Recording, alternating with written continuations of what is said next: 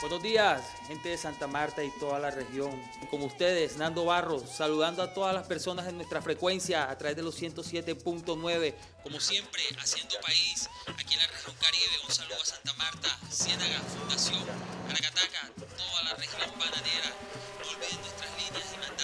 mensajes con sus saludos y sus opiniones. Con ustedes, una canción del gran Carlos Vives, el Elvis Cienaguero, y esa canción titulada La Tierra del Olvido. Como la luna que alumbra por la noche los caminos, como las hojas al viento.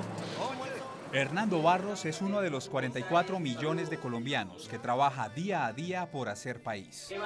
Su vida no ha sido nada fácil. Hasta hace tan solo unos meses era un desempleado más. Duré sin trabajo dos años y medio. Y fue una experiencia bastante dura, ¿sabes? Pero a la vez que fue bastante dura, fue una experiencia enriquecedora porque pues aprendí el valor de lo que es tener un empleo.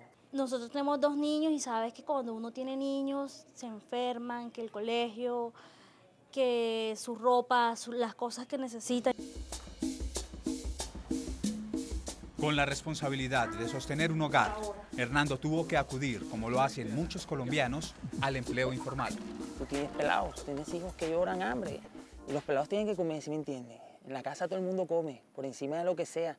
Entonces es cuando viene el rebusque, cuando te toca salir a hacer algo, te toca que coge una moto, que maneja mototaxi, que, que vende una rifa, que, que vende unos bolis, que vende una chicha, que vende un guarapo, que vende unas empanadas. Vender caribañola, vender deditos, vender comida. Más que todo eso estábamos subsistiendo de la venta de la comida. Así transcurría la vida de Hernando y su familia, sin posibilidades, día a día, mes a mes. El tiempo pasaba y su situación era cada día peor. Y es que busca una fuente, ¿sí me entiendes? Y lo que entra, pues no alcanza. Lo que te está entrando no alcanza porque tienes que suplir muchas necesidades, tienes que pagar un seguro, porque los pelados tampoco pueden estar sin salud, tienes que pagar la luz, porque es que tú no puedes vivir sin luz. Tú sabes que aquí en estos pueblos, en estos calores, no podemos vivir sin luz, no puedes vivir sin un abanico, no podemos vivir sin gas porque ¿quién va a cocinar con carbón? Ya no estamos en esa época. O sea, son principios básicos y son necesidades básicas que tenemos que tener y que uno tiene que solucionarlas como sea, ¿sí me entiendes? A pesar de que en los últimos tres años en Colombia se han creado 2.300.000 empleos, este sigue siendo uno de los temas que más preocupa a la ciudadanía. Para hacerle frente, el Ministerio de Hacienda y Crédito Público priorizó en el Presupuesto General de la Nación del 2014 la generación de empleo. Mirando las necesidades que tiene Colombia, pues por supuesto no podemos ser complacientes. Tenemos que mantenernos firmes en el plan de generación de empleo. Por eso estamos estimulando enormemente el sector de la construcción, que es altamente intensivo en mano de obra. Pero también queremos que la industria y el agro colombiano tengan vigor y tengan fuerza. Y por eso estamos apoyándolos con recursos, créditos blandos, aranceles reducidos para todos los insumos importados. Cada uno de los frentes del presupuesto para el próximo año están orientados a generar empleo. El presupuesto del Gobierno Nacional para el próximo año es de 200 billones de pesos. De esos 200 billones de pesos, 108 billones están destinados a lo que se llama el gasto social. El gobierno tiene una estrategia muy clara y precisa de cuáles son los mecanismos a través de los cuales se puede generar el empleo formal y de calidad que es el que necesitan los colombianos. Una de las estrategias está directamente ligada a la capacitación. He hecho muchos cursos, cursos de manejo de datos, cursos de informática, cursos de cría de cerdos, cría de peces. He hecho muchas cosas debido al, al SENA, al servicio de, de aprendizaje que pues presta cursos acá en la comunidad, ¿así me entiendes? En particular, el gasto en educación va a ser de 28 billones de pesos. No hay mejor forma de generar empleo que educando a la gente, dándole la educación que necesita para un mercado laboral muy competitivo.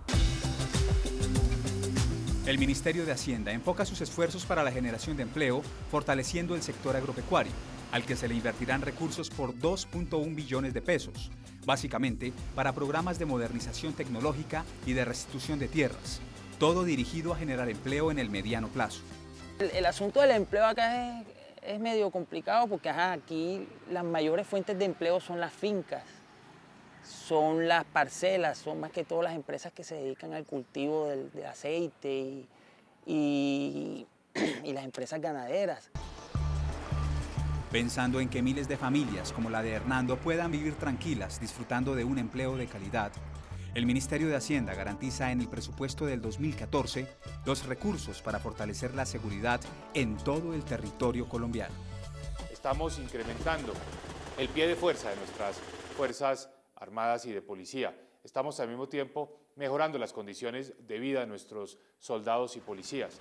Estamos asegurando toda la dotación y los requerimientos para que nuestra fuerza pública tenga la capacidad que requiere de manera eh, inmediata para asegurar el país seguro que todos queremos. Hoy la economía colombiana crece por encima del promedio regional y mundial y crea empleos de calidad que benefician especialmente a los sectores más vulnerables. En el transcurso de 2013, el desempleo continúa presentando una tendencia decreciente, situándose en el mes de junio en 9.2%, una cifra histórica que mantiene la meta de lograr registros de un dígito. La administración Santos ha batido todos los récords de generación de empleo en la historia del país. Estamos en un gobierno que están haciendo las cosas bien y empleo hay para todo el mundo, ¿sí me entiendes? Ahí tenemos que ponernos las pilas, no decaer, no perder la esperanza. Ahora mismo el, nuevo gobierno está implementando buenas herramientas para los empleos y hay que tener siempre la esperanza y las ganas de seguir adelante y trabajar.